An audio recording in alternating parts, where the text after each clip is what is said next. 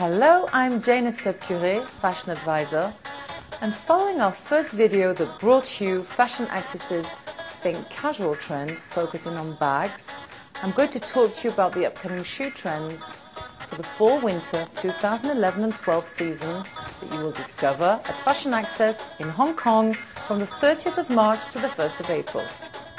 This Think Classic trend is about neo formal and the important thing to understand and get right is that classics go modern with an edge. So let's go!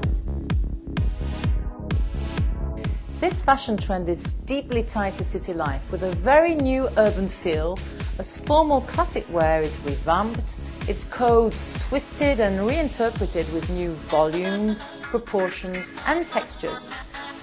The colour range is elementary, even simple, but very stylish and reassuringly elegant.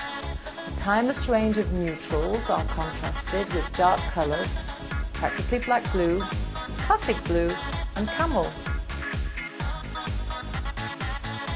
Fabrics and textures are the key here as they bring the edge, the twist and contemporary feel to this major shoe trend, transforming great classics, be they product types or colour ranges, through a variety of materials and textures. Motif is essential here by its geometrical, diagonal, herringbone, houndstooth, broken check or cross-grain effects.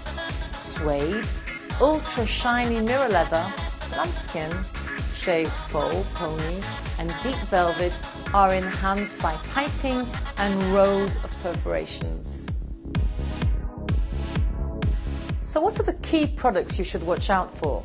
Well, we have 50s court shoes, strappy Mary Janes, sandals, flat or built mannish shoes, high lace riding boots, walking shoes, loafer on a trapeze heel.